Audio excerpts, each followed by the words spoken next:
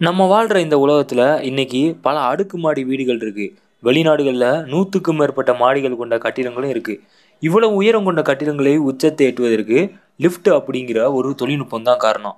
அதை பற்றின சில சுவாரஸ்யமான தகவல்களை பற்றி தான் நம்ம இந்த வீடியோவில் பார்க்க போகிறோம் இந்த லிஃப்ட் மட்டும் கண்டுபிடிக்காமல் போயிருந்தா பல மாடி கட்டிடங்கள் பகல் கனவாகவே போயிருக்கும்.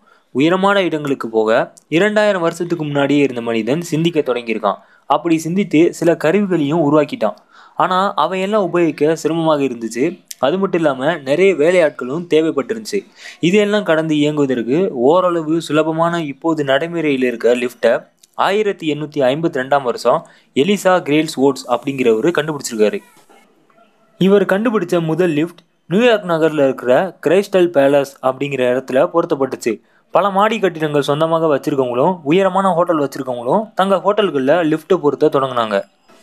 லிஃப்ட் வருவதற்கு முன்னாடி வரைக்கும் ஹோட்டல்களில் உயரமான மாடிகளில் இருக்க அறைக்கு வாடகை ரொம்பவே கம்மியாக தான் வசூலித்தாங்க லிஃப்ட் வந்த பிறகு அந்த முறை மறந்துடுச்சு ஹோட்டல்களில் ஹெல்த் கிளப் இருக்குது ஏசி இருக்குது அப்படின்னு சொல்லிலாம் விளம்பரப்படுத்துவது போல் முன்னாடி காலத்தில் தங்கள் ஹோட்டல்களில் லிஃப்ட் இருப்பதை பெருசாக விளம்பரப்படுத்தினாங்க.